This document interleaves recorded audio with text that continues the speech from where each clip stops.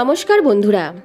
Welcome to my channel আজ আমি আপনাদের সাথে শেয়ার করতে চলেছি ফুলকপি আর ডিম দিয়ে একটি অপূর্ব রেসিপি এই রেসিপিটা হয়তো আপনাদের অনেকের কাছেই অজানা।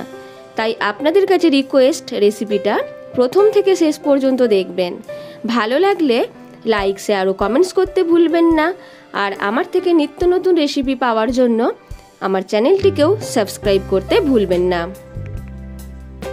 এই রেসিপিটা তৈরি করার জন্য একটা মাঝারি সাইজের ফুলকপিকে এইভাবে কেটে ভালো করে ধুয়ে নিয়েছি। ফুলকপির পিসগুলিকে এইবার আমি গ্রেট করে নিচ্ছি। আপনারা চাইলে খুব ছোট ছোট করে কেটেও নিতে পারেন।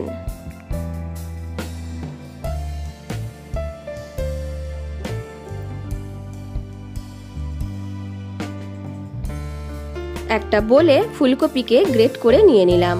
দিয়ে দিচ্ছি পরিমাণ মতো লবণ, হাফ টিস্পুন হলুদ গুঁড়ো, হাফ টিস্পুন লঙ্কা গুঁড়ো, হাফ টিস্পুন রসুন বাটা, ওয়ান ফোর্থ টিস্পুন আদা বাটা। দিয়ে দেব চারটে ডিম। ডিমকে আমি ভেঙে রেখেছি, চারটে ডিম ফুলকপির ওপর দিয়ে দিচ্ছি। সব কিছুকে ভালো করে মিশিয়ে নিচ্ছি।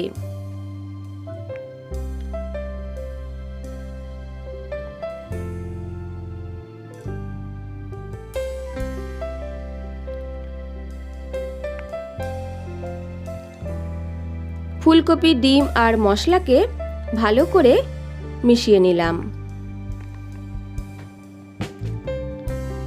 এইটাকে আপনারা চাইলে টিফিন বক্সে ভাপেও নিয়ে নিতে, করে নিতে পারেন বা কড়াইয়েতে ওয়ান টেবিল স্পুন সাদা তেল দিয়ে তেলটাকে ভালো করে চাড়িয়ে নিয়ে ডিম আর ফুলকপির ব্যাটারটা দিয়ে দেবেন। আমি এখানে তেল দিয়ে করে দেখাচ্ছি। আপনারা চাইলে টিফিন বক্সে ভাপ দিয়েও এই রেসিপিটা তৈরি করতে পারেন। ঢেকে দিলাম পাঁচ সাত মিনিটের জন্য লো ফ্লেমে প্রায় সাত মিনিট হয়ে গেছে ঢাকনা খুলে দেখব। নিচের দিকটা ঠিক মতো হয়েছে কিনা এইভাবে দেখে নিচ্ছে। একটু সাবধানের সাথে এটাকে উল্টে দেব। কড়াটাকে একটু হেলিয়ে এইভাবে উল্টে নিলাম। অন্য সাইডটাকেও প্রায় এক মিনিট মতো লো ফ্লেমে ভেজে নেব।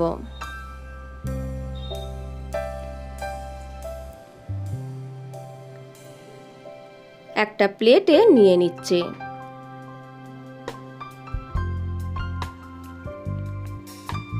ফুলে গেছে অনেকটা, আর এইবার আমি একটু ঠান্ডা করে নিচ্ছি। ঠান্ডা হয়ে গেলে একটা ছুরি দিয়ে কেটে নেব।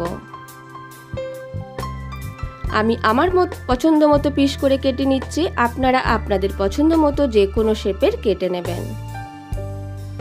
ভেতরটা ঠিক এই রকম হয়েছে দেখুন, আর খুব নরম হবে, খেতেও অপূর্ব হবে।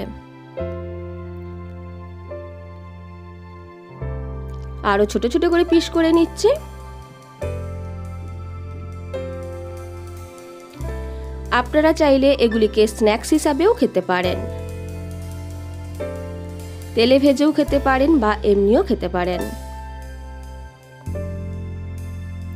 আর একটাকে দেখিয়ে দিচ্ছি, দেখুন ঠিক এইভাবে আমি কেটে নিচ্ছি। একটা প্লেটে সবগুলো কেটে নিয়ে নিলাম। গ্যাস অন করে একটা ফ্রাইং প্যান বসিয়ে দিয়ে দিলাম তেল। ফোর টেবিল স্পুন সাদা তেল দিয়েছি। তেলটা গরম হয়ে গেলে এগুলিকে হালকা ভেজে নেব।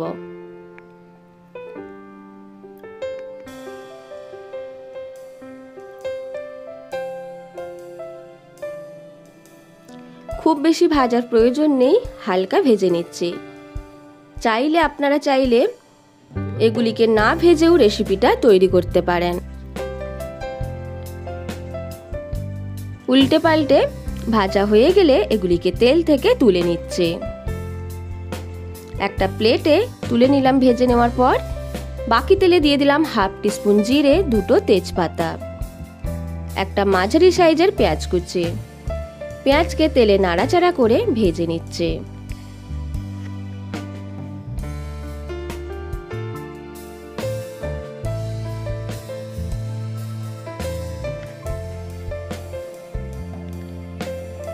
পেঁয়াজ ভালো করে ভাজা হয়ে গেছে। দিয়ে দেব ওয়ান টিস্পুন রসুন বাটা। ওয়ান টিস্পুন আদা বাটা। আদা রসুনকেও পেঁয়াজের সাথে মিশিয়ে ভেজে নিচ্ছে।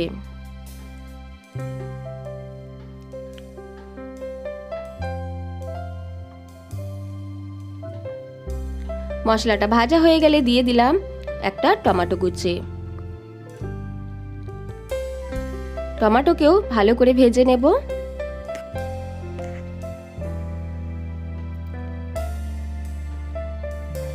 দিয়ে দিচ্ছি হাফ টিস্পুন হলুদ গুঁড়ো। ওয়ান ফোর্থ টিস্পুন লঙ্কা গুঁড়ো, হাফ টিস্পুন জিরে গুঁড়ো, হাফ টিস্পুন ধনে গুঁড়ো। অল্প একটু জল। জল দিয়ে মশলাটাকে ভাজলে আরও ভালো করে ভাজা হবে। তার জন্য অল্প একটু জল দিয়ে দিলাম। মশলাটাকে ভালো করে ভেজে নিচ্ছি।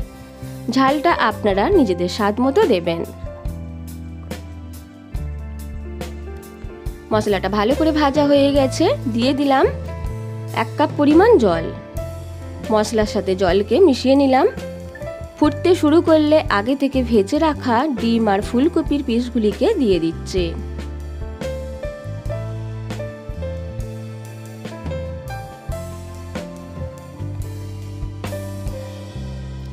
আপনারা জলটা যেই রকম গ্রেভি পছন্দ করেন সেই মতো দেবেন।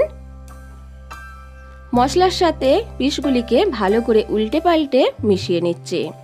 দিয়ে দিচ্ছি পরিমাণ মতো লবণ।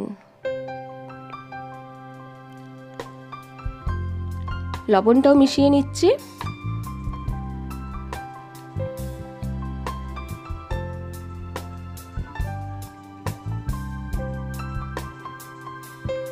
আমি এখানে আলু দিইনি, আপনারা চাইলে আলুকেও দিতে পারেন। আলুকে তেলে একটু ভেজে এর সাথে দিতে পারেন।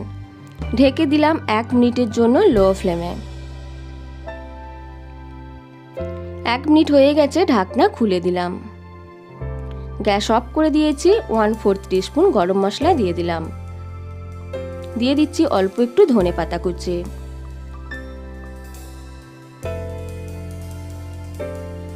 একটা প্লেটে পরিবেশন করে দেখাচ্ছে। খুব সহজেই ফুলকপি আর ডিম দিয়ে একটি চমৎকার স্বাদের রেসিপি তৈরি হয়ে গেল। এই রেসিপিটা আমার কাছেও অজানা ছিল। আজ প্রথম ট্রাই করলাম, খুব ভালো লেগেছে আপনাদের কাছে অনুরোধ। আপনারাও অবশ্যই ট্রাই করে দেখবেন।